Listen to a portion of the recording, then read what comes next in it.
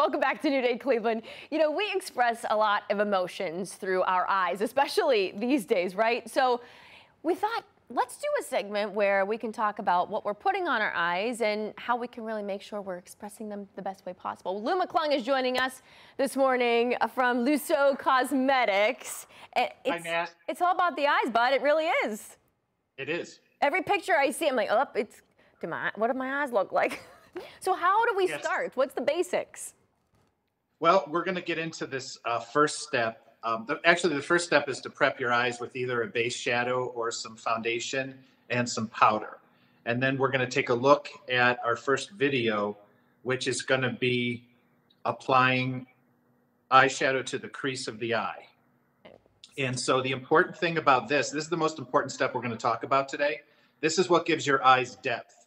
And women are very confused about the exact placement of the shadow.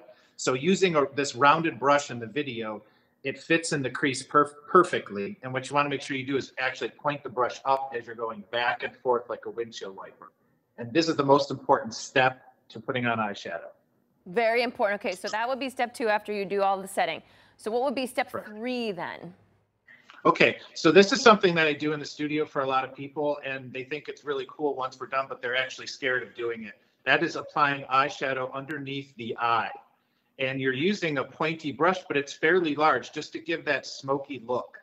And it just really adds uh, some depth and adds some drama to the eyes. I've definitely changed up. I used to put a liner underneath, and then with you with the mm -hmm. eyeshadow saying, okay, no, switch it to a shadow. Mm -hmm. That's all I do underneath my eyes now because I think it just it smudges it. It's not as harsh. Yeah, but you still can use eyeliner too. Just be soft with it, and the, the combination yeah. can be really pretty, just depending on what your uh, look you're going for. Yeah if you're going all out or just a daytime look. All right, so we went through three steps there. What about step four? Okay, so in this video, we should see a blending brush being used. So what happens for women a lot of times when they put the shadow on, the line is too distinct. And that is the thing that's actually distracting, and we don't want to see that. So the blender brush is really nice because you can just go right across the line you created and soften it. So it's almost like an eraser. And, and you, that step I feel like is a very crucial step too, because if that's not blended well sometimes, you have those really harsh lines. And I feel like that, that never looks good either, which I've been guilty especially, of. yeah, and especially if you're in a hurry and you're trying to slap it on, the, the um, blender brush will really save the look. It's a really quick step and it makes it look like you put a lot of time into putting your eyeshadow on. Do we have one more step?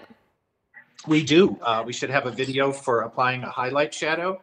And there's a lot of confusion about this one too of exactly where to place it. So what you want to make sure you do is in the arch of the brow, it should be kept pretty tightly in there. And you want to make sure that you use a brush with a little stiffness, but still soft and keep that really tight up in the arch. Because if you drop it down too much into the crease that you just put the darker shade, you've ruined the whole look. We can't have that. So I, so I just want people to use highlight shadow sparingly. So I know we unfortunately couldn't have, you know, with everything going on, a, a, a live guest or a live model for Lou to do this on. He, he's so great. When we see the before and afters of your models when they sit there, I mean, they're always beautiful women, but to see that transition, it really is amazing. Are you still taking clients in there to come sit down and, and um, do consultations? Yes, it's been kind yes, it's been kind of fun because we've actually been uh, having the client put the makeup on themselves as I coach them and actually they That's love probably that. helpful. But exactly. By the time they're done, they've proved to themselves that they can do it. So I may just stick with this format after we go back to a new normal. So their best way to get in touch with you then, give you a phone call and set up those appointments? Yeah, and just check out lussocosmetics.com. I actually have the videos you show I showed you today. Mm -hmm. There are actually 12 of them on our website. So if you go to lussocosmetics.com, you'll see a banner across the top with the videos. And so people can, uh, at home, they could take a look at those on their own time. So and if you do at some point need to stop in there again, he's in Lakewood on Madison Avenue there. Coolest shop around and such a great guy. It's always a pleasure. We love working with you all the time, Lou. And happy holidays, my friend. Same here. Same to you guys and your viewers. All right. We'll see you soon. Okay. Take care now. All right, David.